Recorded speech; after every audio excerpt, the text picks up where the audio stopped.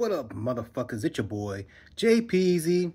Haven't given out a play of the day in a couple days. That's because your boy's been stuck at home with the goddamn Rona. Yeah, that's right. So last couple days, I'll be honest with you, I really haven't felt like doing shit, you know. But we got some MLB action today, and I just can't sit around and not give out some of the best that I'm making because I'm sitting home with the Rona, but I'm still, you know, trying to make this money, man. So we're going to make this money together. Today, it's an early start, and I'm looking at the Astros. I'm looking at the Rangers.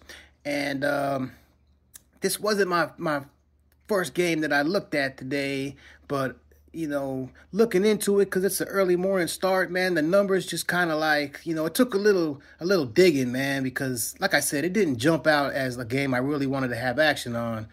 But man, we got Kikuchi going up against Jose Urena, Astros, Rangers, Battle of Texas, and the numbers that stood out to me, um, the biggest numbers that actually compelled me to make this bet, man. We got Jose Urena 0 3 in six appearances versus the Astros, man. Dude hasn't won. And when I say 0 3 in six appearances, that means he's credited with three losses. The other three games, he didn't even make it past, you know, probably the fifth inning. He got yanked up out of there, man. So this guy is just bad, bad, bad when he plays this team.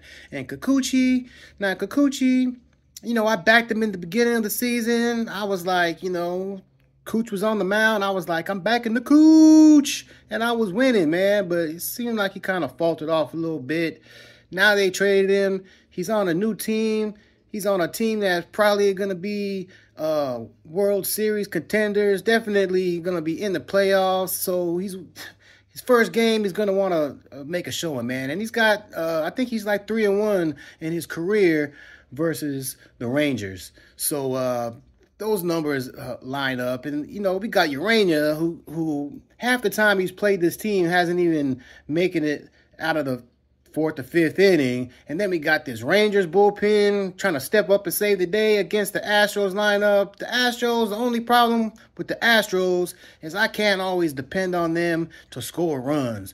But I think I can count on them, uh, count on them to do that today, man. So we're going to take the goddamn Astros over the Rangers. Early morning game. It's your boy Jpeezy, and I'm out.